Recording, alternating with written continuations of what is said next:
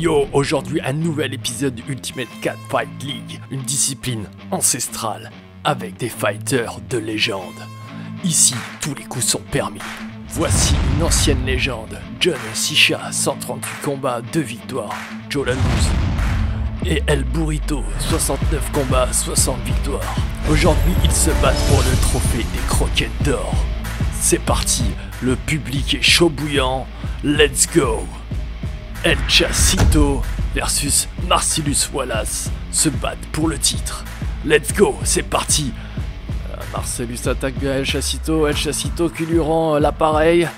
Ils sont là, ils sont à égalité, combat au retournement pour essayer d'accrocher la tête. Et hop, il repasse par l'autre côté, ça se retourne, ça fait des roulis-boulis de l'enfer. C'est reparti, hop, ça tourne, ça tourne, et ça tourne, et ça tourne. Putain, il faut retourner, c'est con. Ah, euh, coup de patte, coup de patte, et ça retourne.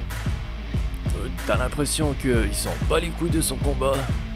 Oh bah, il va donner un petit coup à Jean-Paul, et qui est Polo le déglingo. Hop, une petite pause pour euh, El Chasito. Tiens, il lui sort la queue. Qu'est-ce que c'est que ce bordel? Allez, c'est parti. Pour le dernier round. Allez, qui c'est qui va l'emporter? Double coup de patte dans la frate.